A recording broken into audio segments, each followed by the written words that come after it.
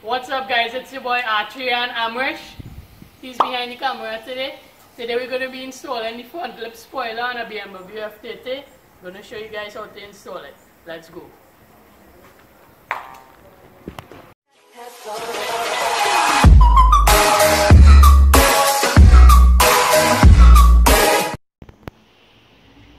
Alright guys, so continuing this front lip install from a little while ago.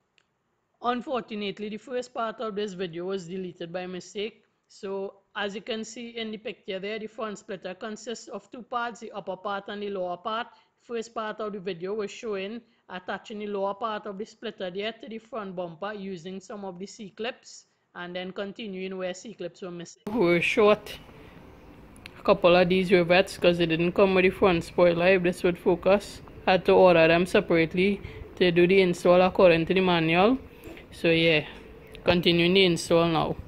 Alright guys so continuing on we have the first part of the splitter on. According to the manual remove these two rivets second to last two from the end. I think we already did this the other part of the video that we filmed. So just replace it with these two rivets and that's holding the splitter as well as this piece on the inside. Here's where we needed one of the extra rivets. So there's one of the places you needed to drill on the inside so the new rivets there moving on to the next part now. Right so next up is these three holes here that we would have drilled. Need to use the rivets that we got. Same as this one here. Need to insert rivets into those three holes that we drilled. Those we had to drill as well. So one two, three here. Inserting rivets into those on both sides, right and left. So these rivets are used to mount the lower part of the front splitter to the front bumper after lining up the lower part on the bumper and seeing where the holes align. You drill those holes and then use these rivets to attach that lower part of the splitter to the front bumper. Right, so three rivets went in here, one, one here, one here, one here. On both sides, moving on to the next step. There's another clip here, removing the clip and then this screw here and washer, I need to remove this before we fully engage the um, actual front splitter onto this adapter B. So this is how it looks currently. Just the adapter have a machine moving screw on that side but just currently the adapter. Secured onto the bumper the next step is to actually fit the splitter onto the adapter. Right so next step we now gonna remove the tape from here. Both sides of the front splitter.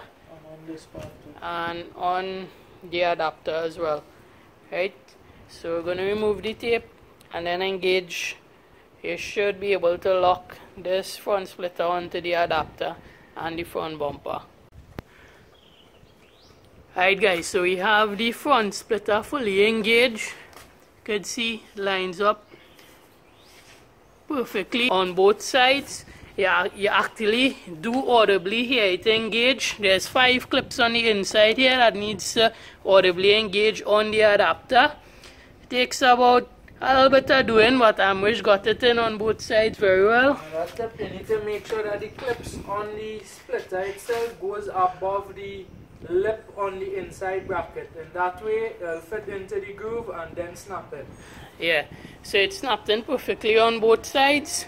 Now we're just gonna show you all the final rivets. Alright guys, so the lip on, the last two holes on the end here this one is for a rivet to go through. Let's increase the brightness. So your rivet going through here and then you have the screw and the washer going through here. So you actually need to install it from the inside here and the washer actually holds onto a part on the inside here to hold it down to the bumper.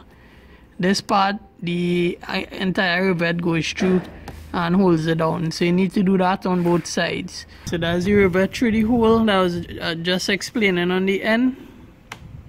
So the rivet here and the screw here. Same thing on the other side. The final step before seeing about the middle is there are 10 pre-drilled holes or you may have to drill them. Five on each side of the um, splitter if this would focus so yeah you can see the holes here there are 10 holes you need to just insert rivets into those those 10 holes are shown in the picture there on the upper part of the splitter and they are circled in the yellow circles.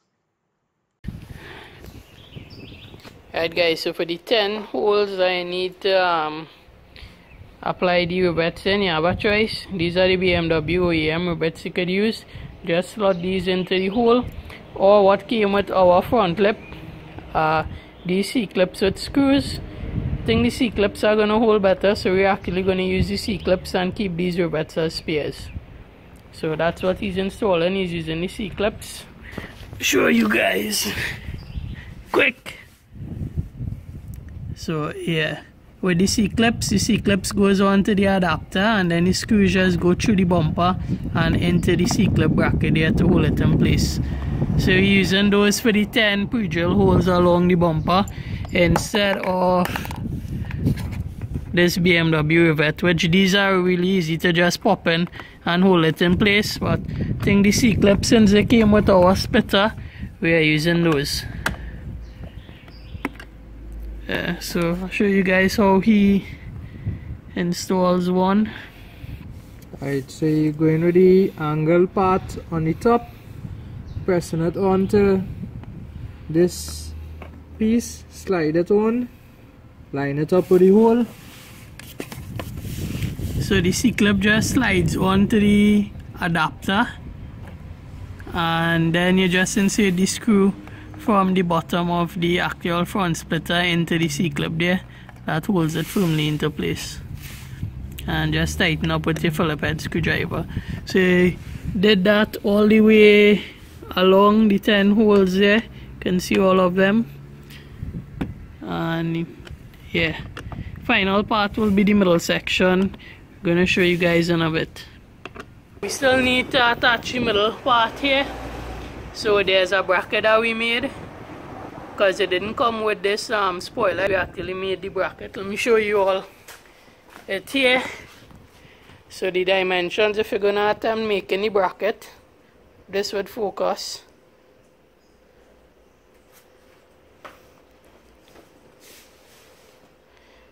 Okay so yeah this should be better. It's 8 centimeters long by 2 centimeters wide by 2 millimeters thick. Right so we pretty much made it out of a piece of plastic. So this is pretty much final stages. To install the middle part onto the bumper. I'm gonna show you guys this part. We have doggo here malfunctioning as usual enjoying the install and the nice cool breeze today. Nice weather today for install next step guys there's the middle part that we're going to secure it have four rivets next here they have this one this one here this one this one just need to remove those to get some space to work here because the plate is going to be going in between here so in order to get space to work, we're just removing the four expanding rivets. Right, so this is the installation plate that we made. We just mocked it up and yeah, found where we drill in these two holes. So I'll show you guys where this plate is going and yeah, how we're gonna install it. Right, so the plate actually going in between the space here. Alright. No, before we put out, we gotta put the C-clips if we put any on it. Yeah. Right, so you actually need to put C-clips on the plate where these holes are and then you'll be inserting it, you're pulling down. This part of the bumper and inserting it here. So the holes will actually line up with these holes here. Yeah and then you'll be okay this would focus. Yeah so it will line up with two holes here. Then you insert any screws from here into the C-clips on the plate in here. At least that's what the manual says. We're gonna see how best we can get it done and we'll let you all know. Right so to make it a little bit easier just alter cut out here to fit in the C-clip and drill the holes. So yeah the C-clip here and this bracket now we're going to be inserting. So the screws will be able to insert from the bottom up into this bracket to hold it in place. That's the whole this middle part here in place. Right the front lip is pretty secure without it but just that extra step. Right so the bracket go in here. And the two C-clips that we showed you all on the bracket going to be lining up with the holes that's pre-drilled here inside here. Right? So yeah that's what we're going to try to do now. Line up the C-clips on the bracket with the holes here and screw in the screws from the bottom here through these holes into the C-clips on the bracket yeah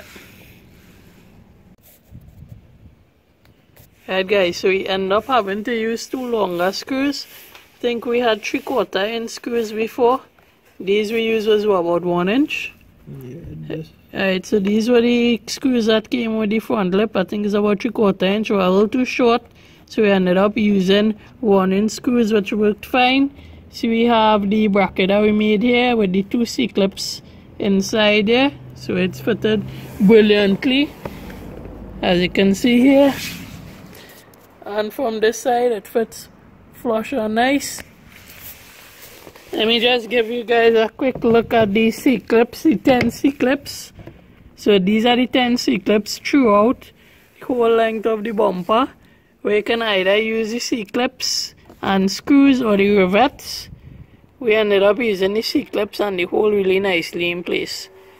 Last step is that these four rivets we took out here, just reinsert them and install is complete.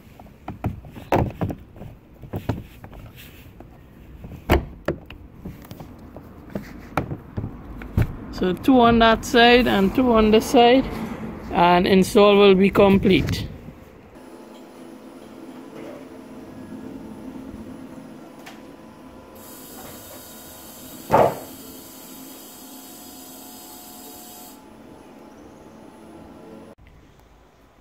Right, so this is the final look. Front lip install. You can see fitment was absolutely perfect. That goes up off it here.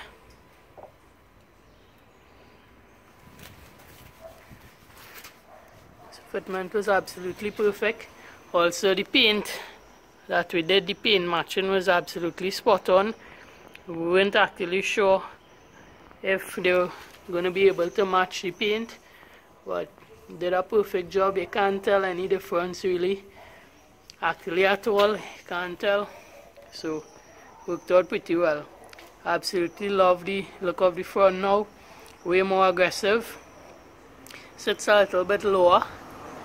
So final look. Looks really really good. Nice and aggressive. Loving the look of it now, even more. Alright, so that's pretty much the final install for the front lip. Here's a final look. Looks very nice and aggressive. Sits a little bit lower. Loving the look of it right now. If the video helped you all, give the video a like. Leave some comments below if you guys did the install. If you're having any problems, also leave a comment below. And yeah. Make sure to like the video, share the video, and subscribe to the channel, guys. Click the notification bell so you'll be notified every time a new video drops. And yeah, we have more stuff coming. We have the rest of the M Performance kit to install. We have the side skirt extensions as well as the rear diffuser. So stay tuned for that. Click the link below. We have some Trini Vlogs merch. You guys can check it out. And we see you guys in the next one. Trini Vlogs out.